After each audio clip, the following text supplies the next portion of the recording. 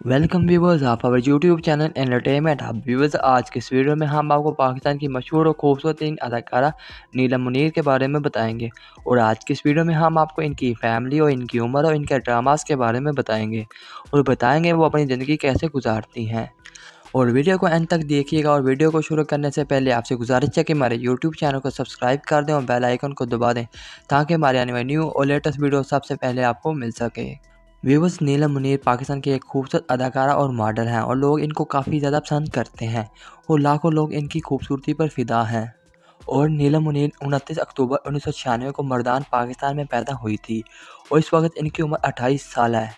जब वो ninth class में थी तो काम की जिम्मेदारियों की वजह से छुपकर अपनी ग्रेजुएशन मुकम्मल की। नीलम मुनीर की फैमिली में माँ और तीन बहनें शामिल हैं और ज़्यादा से ज़्यादा तीन साल की थी जब इनके वालद मोहतरम का इंतकाल हो गया था। और इनकी माँ ने इनको और इनकी दो बहनों को अकेले पाला था।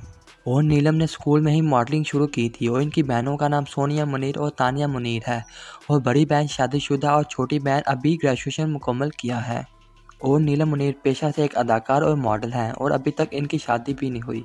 नीलम ने अपने करियर में बहुत सारे ड्रामास में काम किया है, मगर इनका सबसे हिट और ट्रेंडिंग ड्रामा एहराम जनून है, जिसमें इनकी अदाकारी बहुत ही ज़बरदस्त थी और लोगों ने इस ड्रामास को और इनको काफ़ी ज़्यादा पसंद किया था।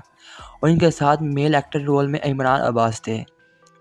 और इनकी उम्र 28 साल और इनकी हाइट 5 फुट 6 इंच है और वज़न 55 किलोग्राम है। और इनकी नेटवर्थ 6 मिलियन डॉलर है। Thanks for watching. Play like, share and subscribe.